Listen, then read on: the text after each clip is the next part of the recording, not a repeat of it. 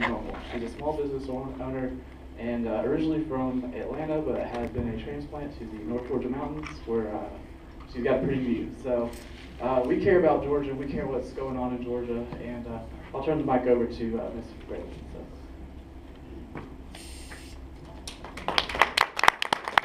Thanks, Jeremy.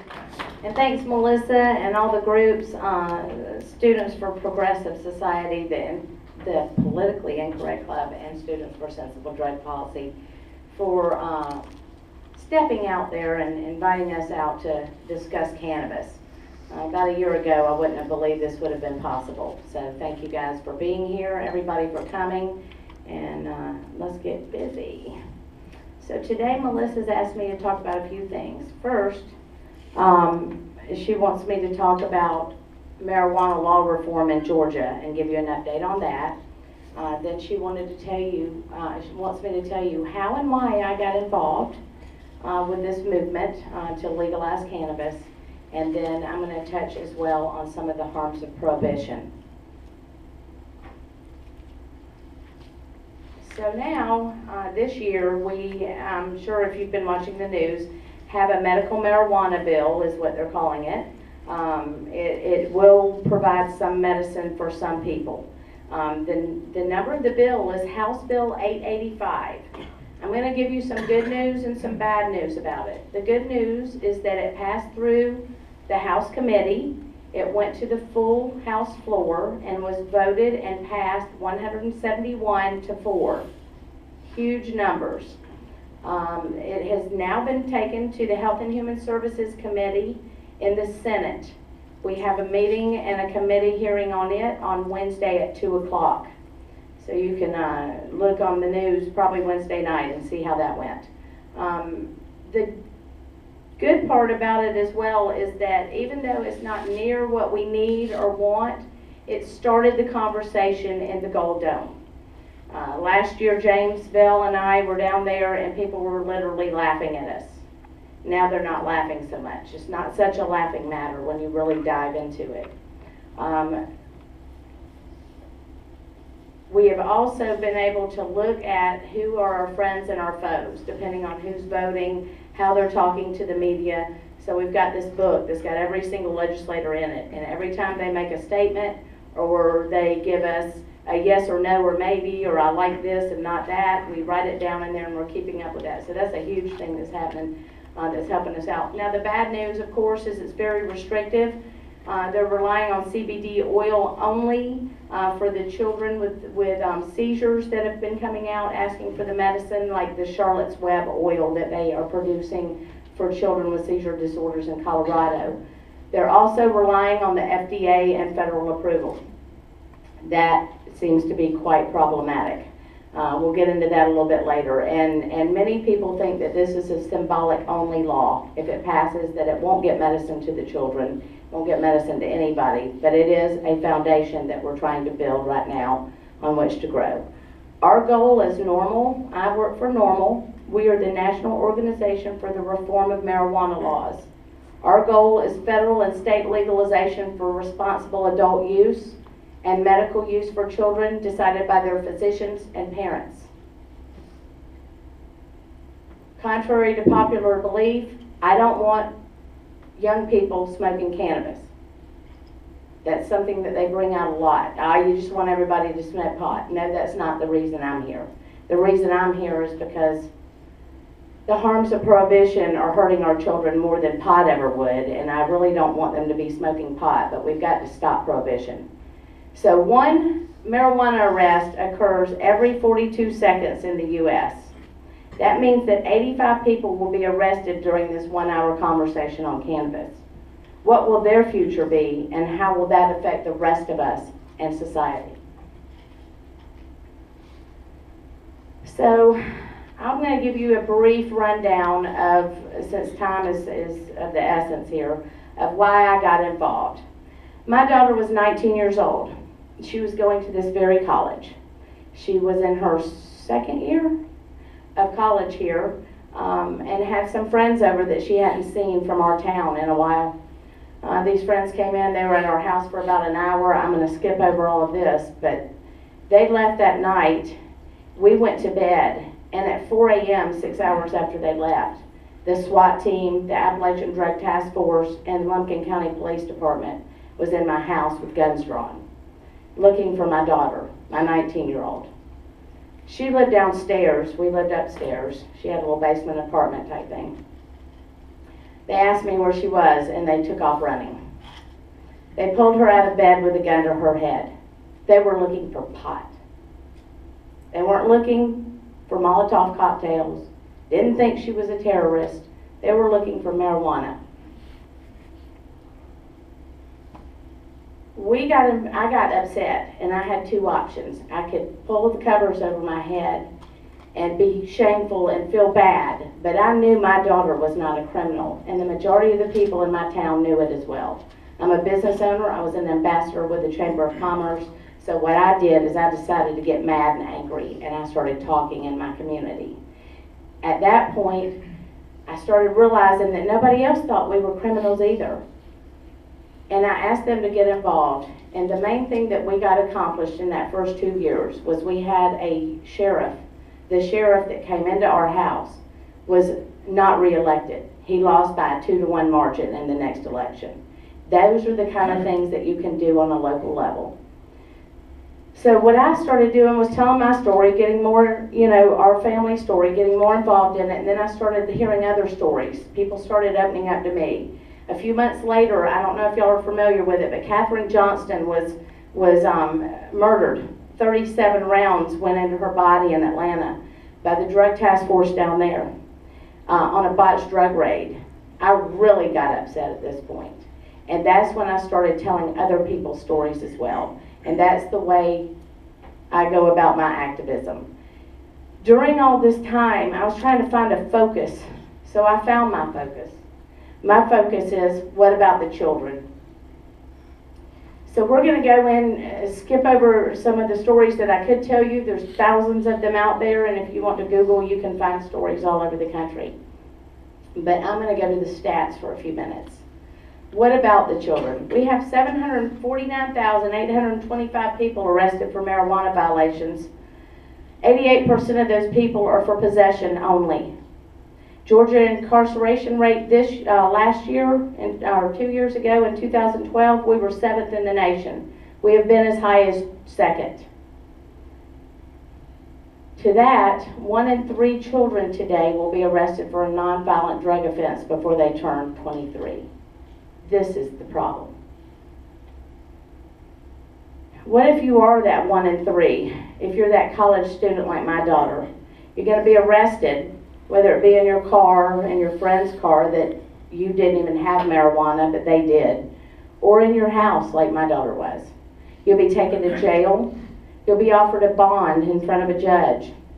Your parents will either choose or you will have the money to get out of jail or you won't. There's many people that don't have that money and they sit in jail, not being proven guilty until they go to trial. There's thousands of them. Uh, felony, our first time misdemeanor possession could land you up to one year in jail and a thousand dollar fine.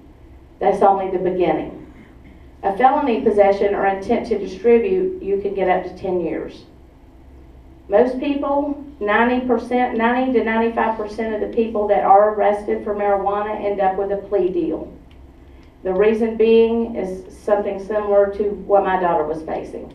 They found 1.5 grams of marijuana, not a lot, maybe two joints worth, a joint, maybe two, um, with, and then they also found a couple of pieces of paraphernalia.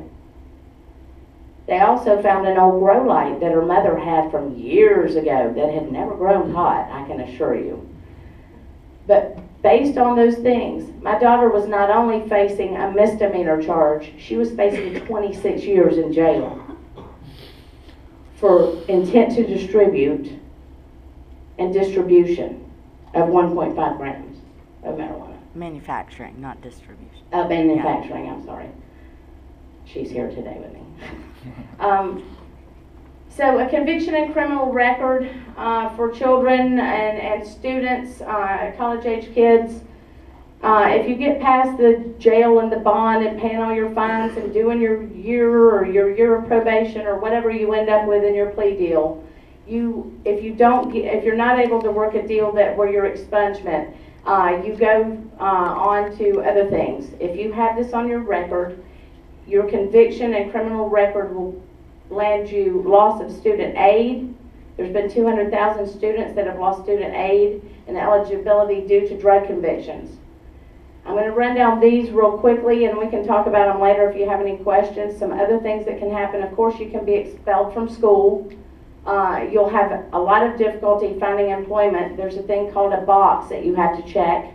Uh, we have people working on a, on a program right now in the Senate and the House um, about banning the box. So if you get arrested, hopefully you'll never have to check that box until you're 55 years old and getting your last job. Uh, there is a lifetime ban on federal and state assistance. If you fall uh, into this situation, you can't find a job, um, you could possibly not even be able to get any kind of assistance while you're looking for a job from the state. Uh, parents can lose their parental rights. It's happening not only here uh, because it's illegal, but it also happens in states where it's legal for medical use. There are parents having their children taken that are under law legally using cannabis for medicine in those states. They're still having their children taken. On the even worse note, you can lose your right to vote after subsequent, usually not on your first misdemeanor, but if you have a felony or if it, or you have subsequent, subsequent arrest, you can lose your right to vote, you can lose your right to carry a firearm, and you can also lose your uh, access to life-saving medical treatments. The harms of prohibition again. What about the children? Well, let's take it from the very get-go. When the kids get into elementary school, they hear the DARE program. The DARE program does not tell the truth about cannabis. We don't want children using it. We need to use honest education in order to um, teach our children the harms that it can do to a young mind. Okay? So the DARE people are talking all this stuff, and just take this for instance. You've been listening to DARE for a long time. You go to that first party, you see your friends drinking alcohol, and they're acting really silly, being real silly. Then you see this other group over here, and they're smoking a joint of cannabis or of marijuana. They're not acting so silly. They're sitting talking philosophy. They're doing whatever. Maybe they're acting a little silly. I don't know what they're doing honestly, but you know. But you're comparing the two groups, and you're thinking, "Wow, I thought marijuana was as bad as heroin. What have they been telling me? Were they lying?" And, and some kids will take that to the extreme and say, well, if they're lying about cannabis, what else are they lying about? And maybe when they see that line of cocaine at the next little room, they may decide that, huh, maybe that's not so bad either. That's a fear that parents have. Uh, drug testing, we drug test kids for extracurricular activities. That's brilliant. Let's take a, a kid that smoked a joint 30 days ago at a party and drug test him and tell him he can't be in the band. You know, let's take them and isolate them a little more and not give them positive reinforcement to try and help them. Uh, drug dogs, constantly coming into our schools. It's petrifying to these children. They're scared to death. I would know. I've been in a bunch of them. I used to work at the high school in Lumpkin County and at the middle school. It happened in both places. Um, school to prison pipeline, I'm not going to touch on that. I just wanted to put it out there in case y'all want to go search it. It's incredible what's going on. There's a lot of reports out there how we are taking our kids. And we're saying that parents cannot, cannot teach them right from wrong. They can't discipline them in their own home. Yet our police officers are arresting them when they don't know consequences for their bad behaviors uh, when they get older. There's an underground, un, I mean, an unregulated underground market. To me, this is one of the most important things. We say that we're here to protect our children, but we're allowing the underground market. I can guarantee you, anybody in middle school that wants a joint can buy a joint. They may even be given a joint, okay? We need to take it just like we have alcohol, and alcohol's not perfect. There are still kids that get it, but they have to do a couple of things, and one of them is actually take an adult and, and make them buy it for them. That's not the case in the unregulated market. A, a, a sixth grader can go out and buy marijuana. Drug dealers do not ID. Not saying all drug dealers would sell to a minor. A lot of them would not, but a lot of them will. Uh, children grow up Another problem, children are losing their parents to this rate of incarceration. Uh, they either are being raised by their other parent that's not in jail, they're going into foster care, or they're having to be raised by their grandparents. Another big issue. Uh, it's affecting not only the person that goes to jail, it's affecting the whole family. And of course, if you get young kids that have been arrested for marijuana a couple of times and they can't find a job and they can't get um, any um, help, funding to go back to school or to get a trade, they're obviously open to be recruited by the drug cartels. Drug cartels offer a lot of money. You don't have to do a lot of work. And if you have no opportunities to get education or to go to school and you have a record, that's the obvious choice. Now, these are some of the faces of prohibition. The top one is Kathryn Johnston, 82 year old great grandmother. She dies. What about her kids? What about her grandkids? What about her great grandkids? To the right of her is Charlotte Figi. She's one of the children that had to leave her state to go to Colorado. She is the child that is being helped by the CBD only oil, which actually has some THC, although it's a small amount, in Charlotte's Web, the big thing that we're talking about here in Georgia. Her family had to move. What about her little friends and her cousins and people that lived in her neighborhood and her family? Right here is, is Allen Peake and Haleigh. She is the Haleigh's Hope Act. That's HB 885. Allen Peake is the one that actually um, introduced the bill, and Haleigh is who is trying to protect. She has seizure disorders, and she will be moving to Colorado because we've wasted the last six weeks talking about stuff that we should have known when we started. Uh, but she'll be leaving on March 17th to go to Colorado to move to get this oil for her daughter. On the bottom left, um, this is uh, the Greens. Bree Green stayed in foster care for a solid year because her parents, good parents, nice home, were using medical cannabis in a legally medical state, Michigan. In the middle, this is Rachel Hoffman. One of the saddest stories I've heard. Florida State child going to school got caught with pot. Cops insisted that she be a confidential informant. She didn't want to turn in her friends because they weren't any big people either.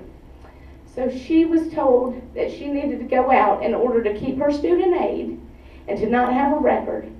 They sent her out to buy not pot, but ecstasy, methamphetamines, and a gun to try and set up some people that they've been trying to catch for a long time. She agreed, didn't talk to her parents. They lost contact with her when she was out on that mission, and they found her two days later dead. This drug war is killing our children. It's affecting our kids, and we need to stop it. And not last but not least, these three officers are the ones that pled guilty and are sitting in jail for killing Kathryn Johnston. What about their kids? Sorry, sometimes I get emotional. Please do. So, all of this, zero recorded deaths of marijuana use in history. Why? What are we scared of? I'm not real sure. So, what are we waiting on in Georgia? It seems like we're waiting on public support. And I've got some things out front that you can look at, and you can also find them on our webpage. We have public support. NORML did, Peachtree NORML did um, a, along with Georgia NORML, a poll this year in January, getting ready for this legislative session to see where the pulse of Georgia was. The pulse of Georgia says 54% of us want to legalize cannabis just like Colorado and Washington did in November of last year. 62% of us are not. 62% of us want to decriminalize it, which means stop the arrest. Make it a civil infraction if you're caught with it out in public. Stop busting down people's doors looking for it. And let's get busy on real crime. I am sick and tired of SWAT forces coming in on kids while we've got child molesters walking around with ankle bracelets in our neighborhood. We need to keep those kind of people in jail and stop trying to fill it up with marijuana smokers just because we don't like what they're doing. I don't really care what they do, as long as they don't hurt someone else. So we're also waiting on federal, the federal okay in Georgia. That's a big thing. We want the feds to tell us that it's okay. Well, they haven't done that yet. Hopefully that'll come soon, but it hadn't happened yet. And to that I say, I love how us Republicans, and I say us because I am one, want to comply with federal law on this issue. Yet when it comes to the federally mandated Affordable Health Care Act, it's just cool to say kiss off. We're not going to follow your rules.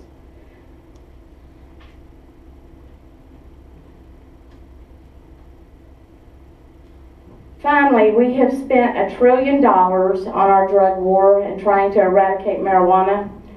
We have had, it has, um, zero stated goals have been accomplished.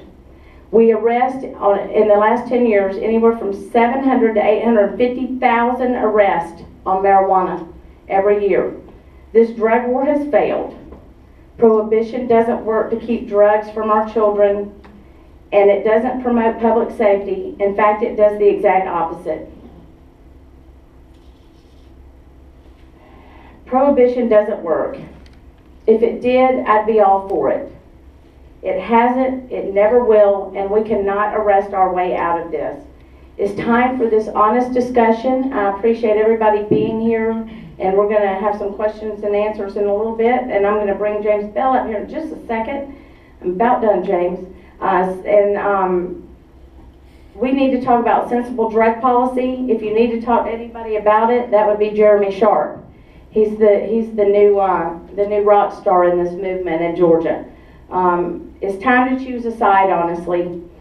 I hope that the judicial system, the public, and the law enforcement folks pick our side because we're on the right side of history.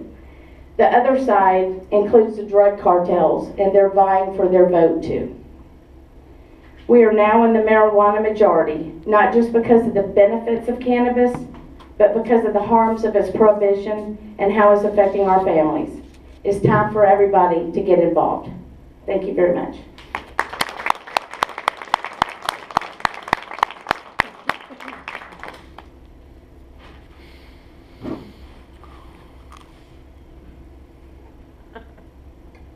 All I can say is wow. Uh, I've heard Sharon speak a lot actually, and every time I hear her speak, uh, I still get the same feeling. Um, there's a lot of passion in this movement. Uh, we put a lot, a lot of hard work into what we do. Um, nobody really pays us. A lot of things that we do come out of our own pockets, and it is a grassroots movement. Um, we need individuals. We need people at the Capitol. We need people calling their senators, their legislators, sending those emails, sending those posts on Facebook. Um, get past the fact that your uh, your cousin doesn't like that, you know, that, that Facebook message. Um, if you believe in what we do, um, stand beside us. Um, I'd like to uh, introduce James Bell. He's our uh, he's our next speaker. He's a Georgia native. Uh, I've seen him a lot on WSB TV and a lot of the news networks. Uh, he's kind of become somewhat of a local celebrity in our movement. Uh, James is the uh, director of Georgia Care, and he's really, really involved in the legislative process and what's going on with HB 885, uh, which I will encourage you guys to look at. It's online. Um, if you want to look at it, I can get access to it. Uh, I don't have any printed out, but uh, I'm going to turn the mic over to James and uh, let him speak about what he does.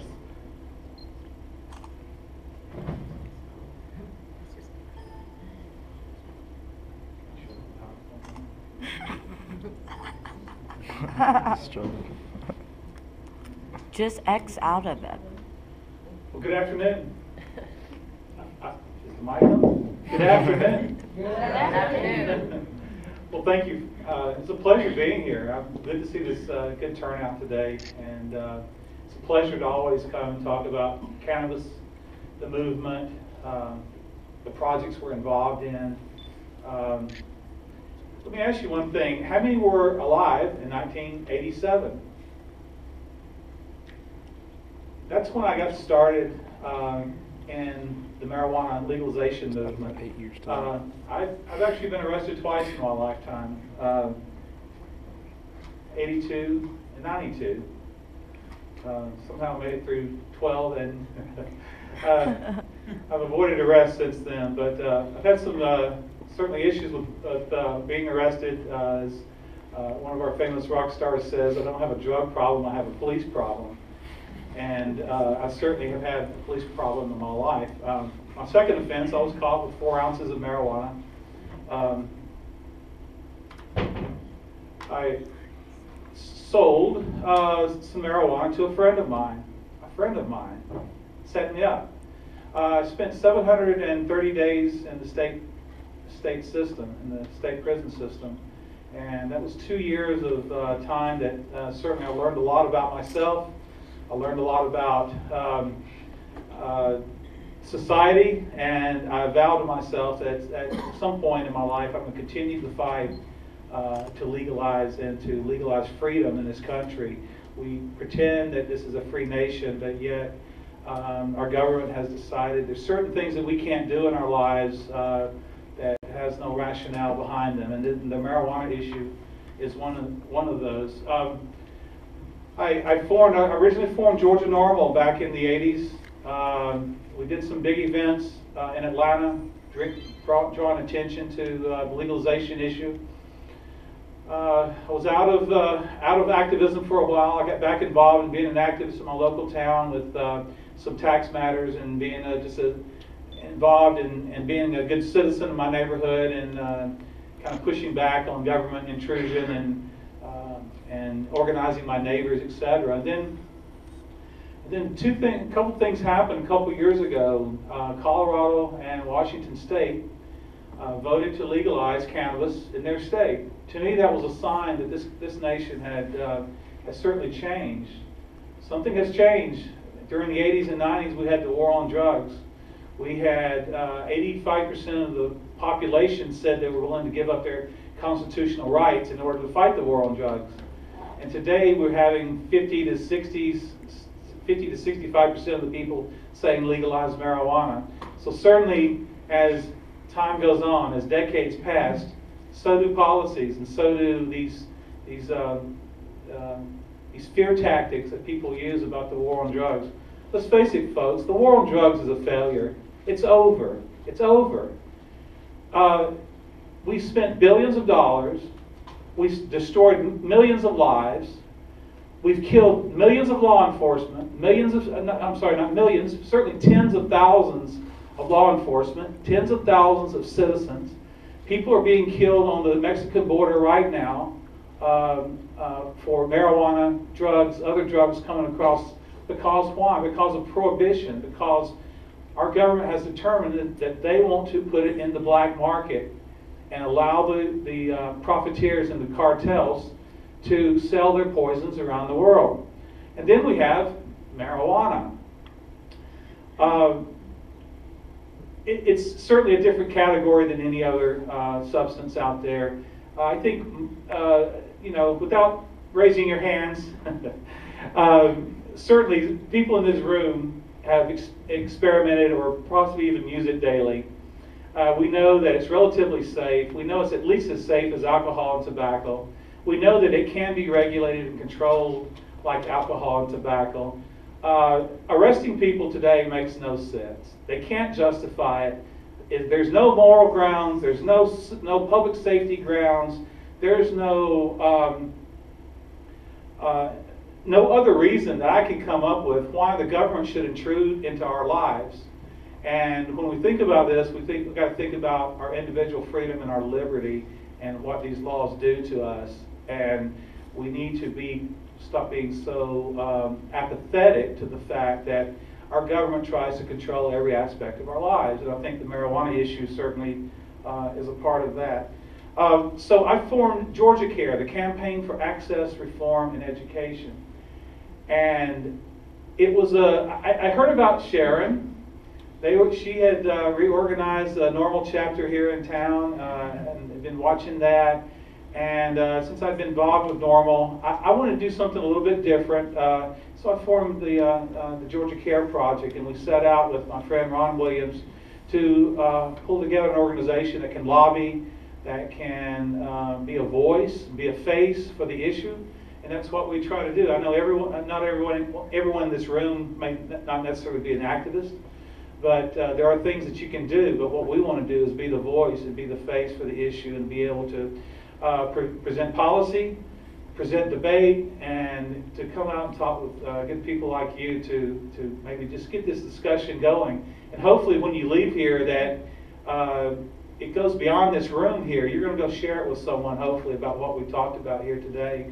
And that's what we're doing. I call it planting seeds. So hopefully, if you plant a seed in somebody's mind, that it'll grow into something that uh, perhaps will spark some interest. And and uh, you have a great opportunity now to be involved. And I just encourage you, whatever you have a skill or a talent or something you can contribute to the organizations. And if you don't like working with organizations, do something on your own. Just do something on your own that you can make one change. Uh, when we deal with uh, the state of Georgia, we have one of the uh, most um, one of the most terrible places to live as far as incarceration. We, we're, we're, we're number one in incarceration and we're on the bottom in education. And for 40, 50 years, we've spent, we've misspent our money. We re- misdirected our money. And you see what we got. We've got, we got some, some of the, the most grand uh, prison facilities in the world. And we got some of the, the poorest school systems in the world. And, um, and certainly uh, our politicians have missed the mark when it comes to prioritizing our money and prioritizing education and prioritizing public safety. Because every time a person is arrested, that's one other person who's committing a crime against a person or stealing your property that is not being dealt with. And uh, I look at it this way there's only a couple of crimes in this world. That's a crime against an individual and a crime against the property that you own. If they're stealing your property and hurting you, those are the two crimes that I feel our government should be focused on.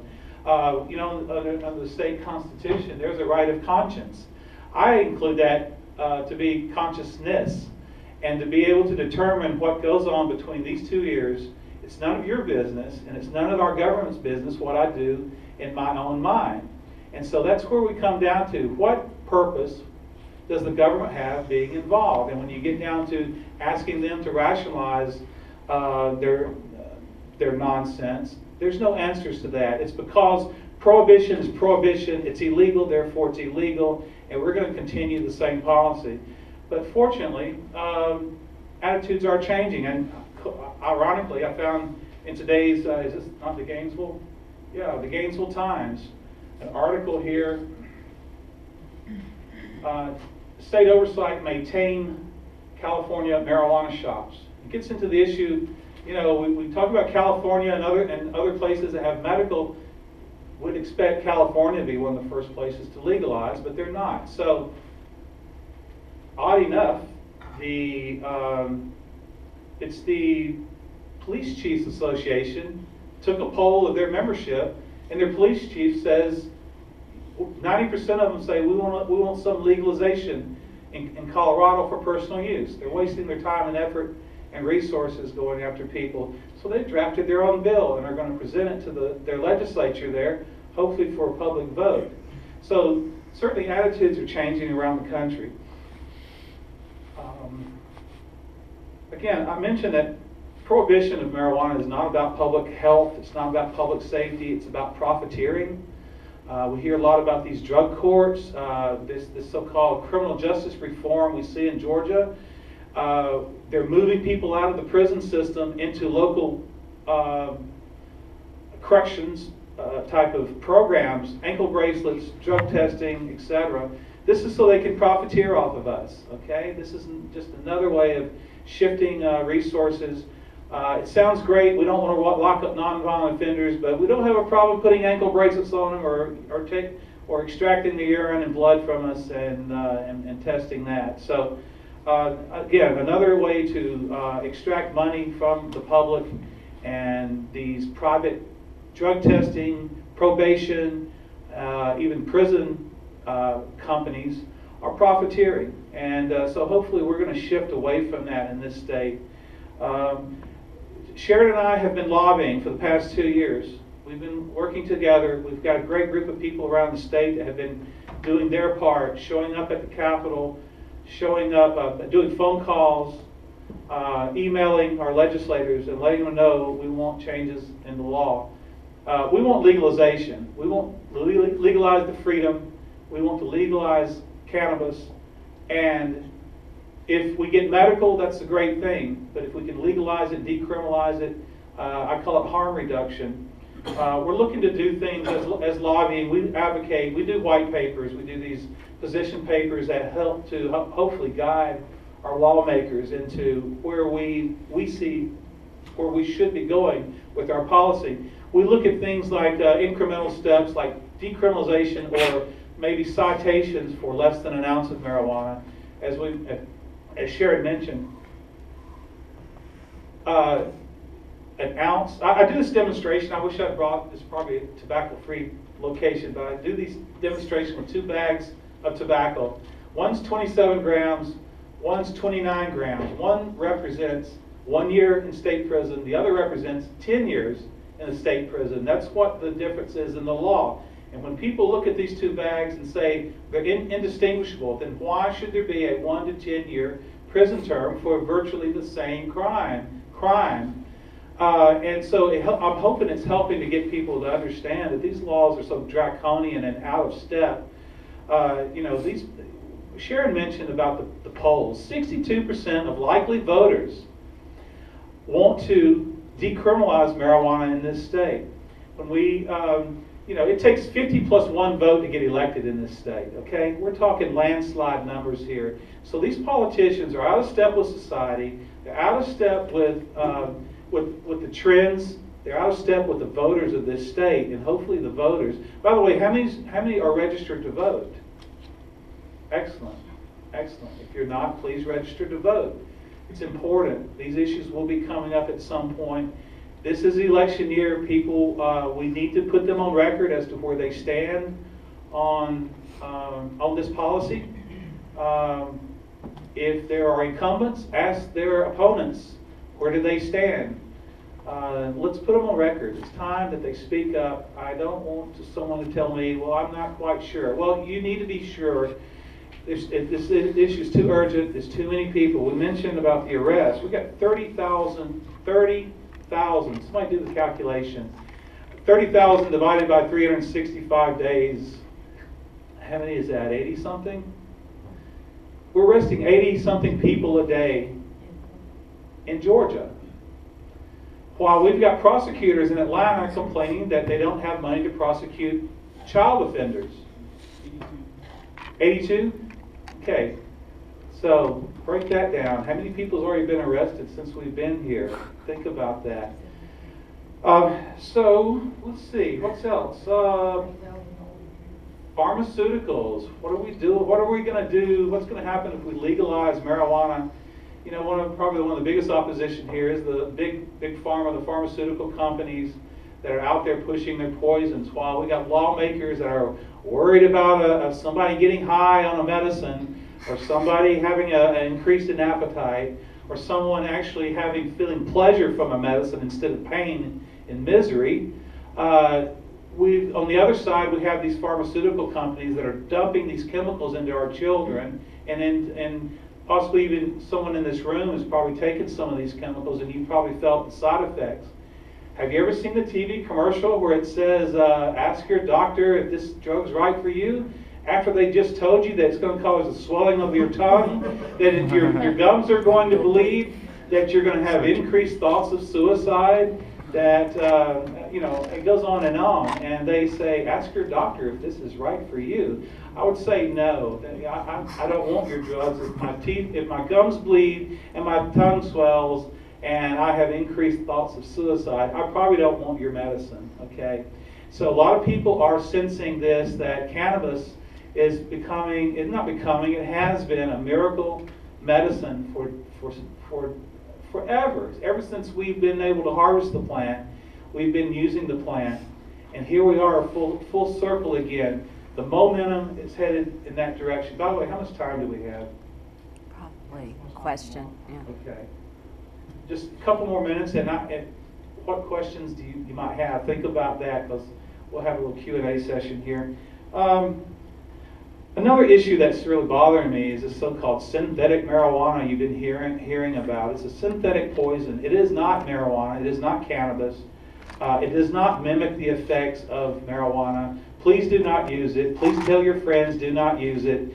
Uh, you don't know what it is. One batch may be okay. The next batch may you either end up uh, with some type of psychosis or in the hospital or having some kind of uh, physical or mental issues from that. Do not do synthetic poisons. I don't care what your friends say. Um, there's nobody ever been harmed or um, uh, certainly no one has died from, uh, from the tox, any toxicity from marijuana. So don't confuse the two.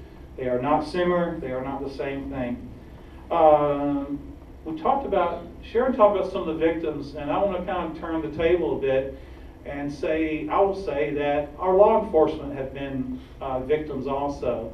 They've been given a task. You know, uh, you don't know what it's, unless you've had a shotgun in your face, uh, you don't really know, you know, they don't know what's going to be placed in their face either. They're, they're, they're taking on this job to go out.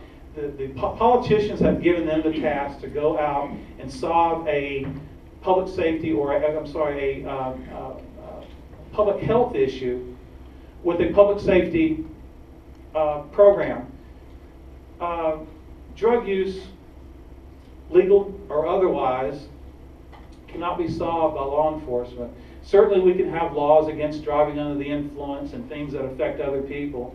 But people have a uh, have uh, some sovereignty to do what they want in their own lives and to, and to live their lives as they see fit. So we, law enforcement have been put in this position, um, and maybe they've been put in that position or they put themselves in that position to, for instance, in the case of uh, Kathryn Johnston, where it was a botched drug raid, instead of saying, okay, we've made a mistake, we've killed this woman, this innocent woman, they go around and plant a nickel bag of marijuana at her back door and claim that she was dealing drugs uh, in order to justify what they did. Some 30 sheriffs in the state of Georgia in the past 30 years have been arrested for drug or narcotics or some type of uh, conspiracy charges involving the war, the war on drugs. It's corrupting law enforcement. Uh, it- so, at what point do we say that this is just nonsense and we've got to change this? So that's what Sharon and I are trying to do. We're trying to educate people that we are moving in that direction to uh, to end prohibition, to bring about some form. You know, and of course we argue amongst ourselves. We've got people that are critical of us because we supported a bill that doesn't really accomplish what needs to be accomplished. We get people who uh, say, you know, forget about medical. We want to legalize if we legalize it over here, we can get medicine over here. A lot of different strategies, a lot of things at play. All we want to do is advocate and keep pushing the policies forward, and let's deal with the issues as they come forward. So, um, I think that's about it. I just wanted to thank, say thank you for being here, by the way. Make sure you tell someone. Uh, our website is gacareproject.com. Uh, anybody been to gacareproject.com? Okay, we've got a few hands here. That's where that's our headquarters. That's where we post all of our latest information on the bills, uh, etc. We have a Facebook page, GA Care Project, uh, on Facebook, and uh, come join us. If uh, we do public speaking, as you can see, and if you know of anyone else that would like to uh, participate in these type forums, we do have events. Uh, did you talk about the conference? I conference? did not. Well, come in, uh, please, no, you please tell them about the conference. I forgot to tell y'all, we do have a conference, um, Peachtree NORML's putting it on. It's gonna be held on March twenty-second. Um, it is from, or registration starts at eight, uh, the festivities start at nine, go to six. And we are going to have Neill Franklin with Law Enforcement Against Prohibition, um, several doctors, um, some clergy, all coming together for the Southern Cannabis Reform Conference. You can find information and tickets, um, on our Peachtree NORML front page at www.peachtreenorml.org. Um, it's going to be an incredible day, lots of activists coming together, uh, and we're going to do a lot of question and answers as well there. So if we don't answer your question today, come to that. If you by chance need a scholarship, you can also ask for one of those. We've got a few more scholarships left. And students, there is a student discount as well. But if you can't handle that and you wanna come, let us, hit us up for a scholarship, okay?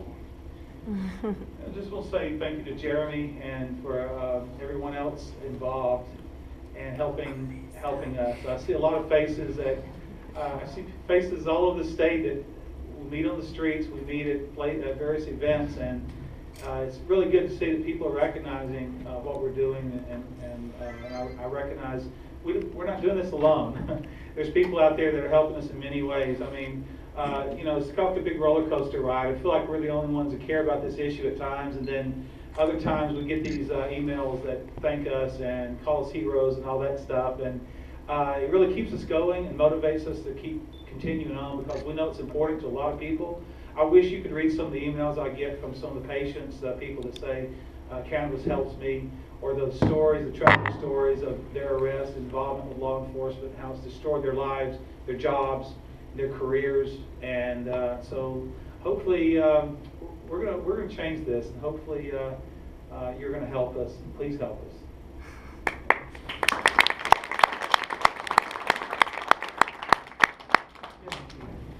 All right, guys, we're gonna turn this over for uh, some questions and answers. So, uh, does anybody have any questions for our speakers?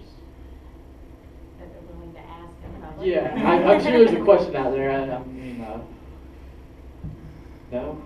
Okay. Yeah, were we that good? We got Yeah, all the we've covered it information all. y'all wanted, huh? Wow. I see you, uh-huh. Uh, Well, uh, what I was asking, I know that Georgia does have some agricultural states, but wouldn't the legalization, taxation, and distribute, and the distribution of marijuana benefit us also economically, adding another aspect to our trade? You know, be, you know, in-state and between states and so forth? Absolutely, we didn't really even touch on that, I've got another presentation for that, we can do that. Yeah, about the millions, I mean, look, Colorado made a million dollars the first day they started selling marijuana. I mean, okay, they've been making a million dollars every day. Their, uh, their uh, Governor Hickenlooper just came out and said, by fiscal year 2015, so that will be a whole year and a half, their fiscal year, year ends in the end of June. So this whole year plus January through June of this year, they're looking at a billion dollars. Okay, so there's a lot of that, and hemp as well. You brought up agricultural, huge as far as hemp, and we are working. Uh, James and I actually were over speaking to Gary Black, what, about a week ago? Week, week and a half ago, about the hemp. He is our, Gary Black is the agricultural, um, head of Georgia. So, uh, hemp is being pushed as well. Uh, my daughter that got arrested actually is going into that, that field, hemp field. Uh, she's a landscape architect. Uh, since we paid fifteen grand to get her out of trouble, she ended up, uh, using most of her college funds, so she's a little bit in debt now, but that's okay. Did you say Governor Hicken? Hickenlooper. Oh, what a great name. I know. I thought she was making that up. Uh, yeah, hemp issue, that's, that's something that's, that's one of my pet issues. I, I just see, I see Kentucky, I see Colorado, uh, other states, probably 10, 12 other states that have hemp laws. Uh, by talking to the ag commissioner, uh, I'm talking to farmers, I got farmers calling me, and say, I'm already a farmer, I'm growing, uh, grain crops. Uh, I wanna grow hemp, and, uh, so how do we take this biomass that can grow, be grown almost anywhere in this state, um, and use it as an agricultural crop. And, um, everything from shoelaces to car parts, uh, make cellulose and plastics and, Concrete. and oils and. Mhm. Uh, this shirt's actually 100% hemp, just to let you know. Nice. It is 100% hemp. So. Watch out now, everybody's gonna want to feel your sleeve here in a minute. products were, uh, there was a nineteen thirty-eight article in Mechanics Illustrated, I believe, that said hemp was a billion-dollar industry. That was back in nineteen thirty-eight, with twenty-five thousand products. Translated to today's money, that's probably, uh, A lot. several billion dollars, and probably the number of products has doubled or tripled in that time. Well, let's think about this. With, with 20 states with medical, how many uh, people out there are going, to, you know, are going to med school and wanting to be doctors or nurses or et cetera that could get into this field. You look at uh, everything surrounding the industry, from the security companies to the grow lights to the uh, the lawyers are now, you know, dealing with the legal issues of the legal side, not the illegal side in these states. So nobody's losing money here. Everybody's profiting off of this. So there is a, a you know, I believe in a free market. I believe if we let the free market go, that it will, it'll fix itself and people will find their place in the industry. So, yeah, money to be made in this in this um, in this industry. We've got entrepreneurs right now in the state of Georgia that are looking at the medical law, saying, "I want to be the first to be the uh, dispensary here in Georgia." So people are looking to the uh, to their uh, to the states, and I think about you know who in Georgia, what doctor in Georgia knows anything about cannabis? And, you know, you might find uh, a handful of doctors, but we've got nine million people. Uh, if we do legal, if it was legal today, who, who would know how to, how to uh, deal, even talk about the issue? That's something, that's something that, that just brought up something that, when, when they have these medical states, a lot of the people that don't want it legal or that don't like medical, they point to exactly what he's saying. There's only four doctors that are giving out all the marijuana. You see how they turn things?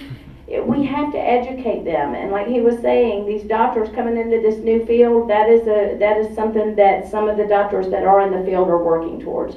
They're going to these med schools saying that these children that are coming into medical school learn about the nervous system, the, the immune system, the everything. They need to start learning and teaching the endocannabinoid system to our children because this is coming. There is no stopping it. So we need to start, if you know anybody that's out in pre-med, ask them to start spreading the word about getting that involved.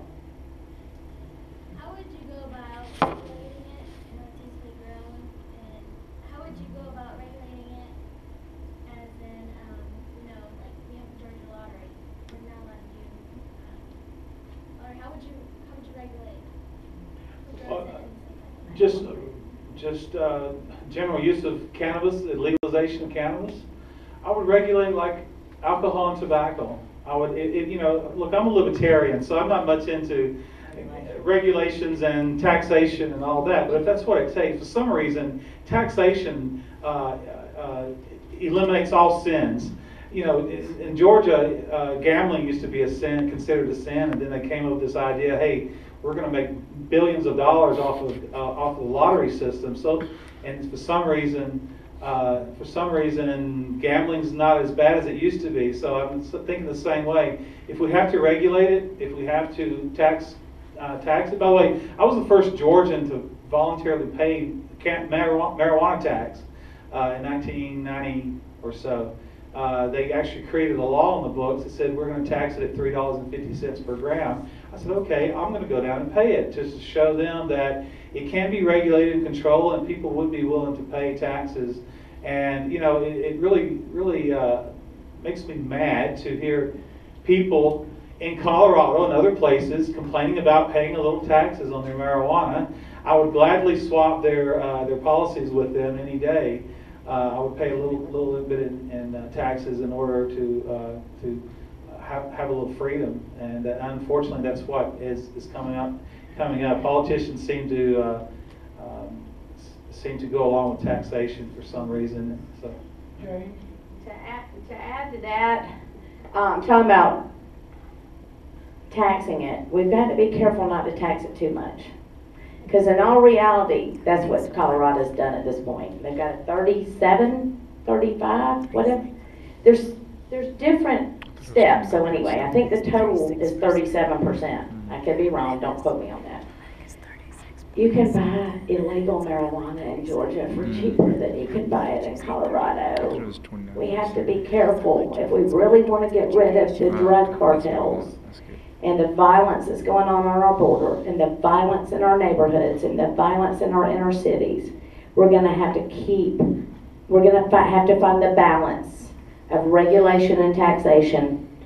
You see what I'm saying? We can't overtax it because the black market will still thrive. That's not my purpose. I want the black market gone. Just, I don't think it'll ever go away, I'll add that, but to some degree. To be specific, we would want a plan that would allow for an individual to cultivate their own. Uh, if you can't cultivate your own, I should be able to go to a friend and say, hey, can you accommodate me without worrying about being arrested?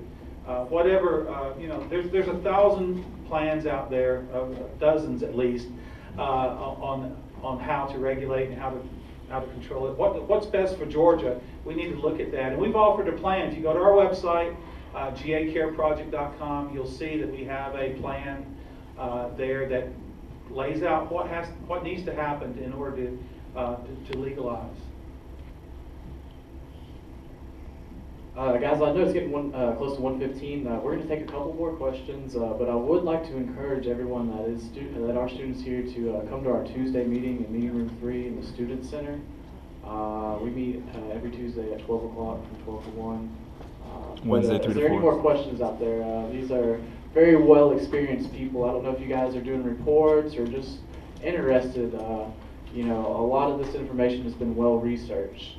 Um, so I encourage you to uh, think of something real quick uh, to ask these guys. uh, or forever hold your peace. uh, Thank you. Yeah, yeah. I guess uh, I guess we'll close it up. I mean, might as well. Uh, I think most people are uh, needing to get to class as well. Um, I would like to thank everybody who has stayed and has come and uh, spread the word. Get involved. Uh, we're out there. You can find us. And the, the second you contact you, us, we will get back in contact with you as soon as possible and tell you how to get involved. Uh, something we believe in. Uh, we've dedicated our lives to uh, changing these things because we're nowhere right. And uh, you know, and I don't mean to sound arrogant saying that, but um, No, we're right. yeah. well, all right. Thank you guys.